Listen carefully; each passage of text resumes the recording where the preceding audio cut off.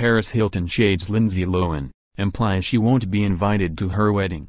Paris Hilton has made it clear that her friendship with Lindsay Lohan will never be mended. Related, Paris Hilton addresses nearly losing her $2 million engagement ring in Miami nightclub, I have amazing karma. In a video captured by TMZ, Hilton and her fiancé Chris Zylka were spotted walking hand-in-hand through Los Angeles International Airport and videographers and paparazzi were caught up on the reality star's upcoming nuptials. Is Lindsay Lohan invited to your wedding? They asked Hilton.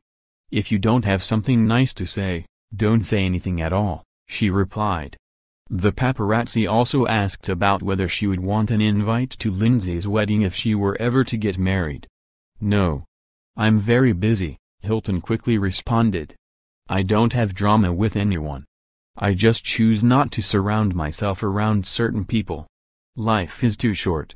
Related, Paris Hilton's fiancé Chris Zylka confirms he'll sign a prenup before wedding, but couple insists we'll be together forever although she's made it clear she's still not a fan of Lohan. Hilton implied that her feud with Kim Kardashian is pretty much dead, applauding the Keeping Up with the Kardashians star for using her voice to get Alice Johnson out of prison.